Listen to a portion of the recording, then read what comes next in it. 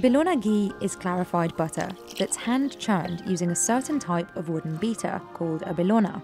In general, ghee is more expensive than traditional butter, and in India, ghee made this way can cost over three times as much as factory made ghee. Bhavish and his family have made ghee for generations, but in 2020, he took his business online. In 2022, the global ghee market peaked at $49.2 billion.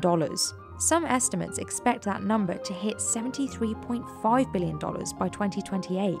And demand for a product like Bhavish's continues to grow as well, even when it can cost around three times as much as the industrial version. That's because his ghee comes from these indigenous cows. A desi cow produces about 10 to 12 litres of milk a day. That's half as much as industrial cows.